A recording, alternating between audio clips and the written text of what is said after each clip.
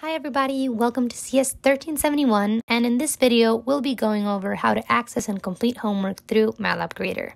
Before we get into that, I just want to share a few tips we suggest on how to store your .m files in your desktop and in your laptop.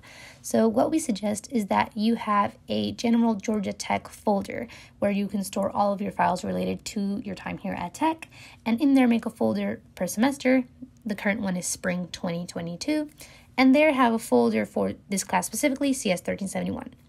In this folder, you should create subfolders specifically for each homework. So for CS 1371, you should have a folder for homework 2, homework 3, homework 4, etc.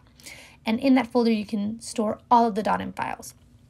This might seem tedious, but in the long run, it's super beneficial for this course as it's going to help you identify the directory when running your functions in MATLAB and also beneficial for you when studying for tests as it makes it a place that you can easily access your previous work. Now that we have that set up, let's go ahead and access MATLAB Grader. You should have received an email granting you access to the course by the professor, but if you have not, make sure to check your junk mail, and if it's not there, please post your issue in Piazza and we'll sort that out as soon as possible. Once you do have access to this email, what you should be seeing is uh, a green button that says CS 1371 2022 01 Spring. Click on that. That'll direct you to a login page where you will enter your MathWorks login credentials. Please make sure that it's your Georgia Tech email and the password corresponds to that email. And once you've logged in, what you'll see is what's on screen. You'll notice that on the left hand side are the files for homework 2 and you'll notice that the problems are divided into levels. Each level varies in difficulty. Level 1 problems, they practice basic concepts and are valued at 1 point each. Level 2 problems build off of those concepts you practice in level 1. These will be 2 points each. And level 3 problems are synthesis problems, which will have a value of 4 points each. To receive full credit in the homework, you must do at least one problem from each level to receive any credit for the assignment. Plus, you will have to do other exercises, and it can be any combination you choose, whether it be all of level one or all of level two or all of level three. Just make sure that they add up to the max value, which is 16 points in this case, to get 100%. But anything extra that you do, which you are more than welcome to and encouraged to, will be capped at a 120%. Let's go ahead and do a problem together. I've chosen to do a level 2 problem, specifically door area. And once you click on that function, you'll be directed to the page with the problem summary. You'll be given the function name, door area, uh, and then the inputs, which describe their data type and how many we expect your function to take. And you'll also be provided with a description of the outputs, including its data type. Depending on the problem, you'll either receive like a note or a description that'll guide you on how or what to include in your function. So in this example, it asks you to round your answer to the nearest whole square foot, so make sure to include that. If not, your answers won't match with the test cases down below.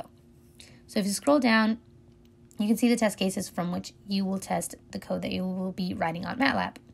And if you scroll further down, you can see a text box with the title of function. This is where you will paste the code you write on MATLAB. So we're in MATLAB and we're going to write our function, right? So we start with our function header. Make sure to always include that keyword function and your inputs and outputs can have whatever variable names you want. Just make sure that they make the most sense to you. And please ensure that the function name matches the one in the MATLAB grader. So in this problem, it's asking us to find the area of the arched door. So the way we approach this problem was to divide the door into two shapes that we know how to take the area of, which is the rectangle and the semicircle.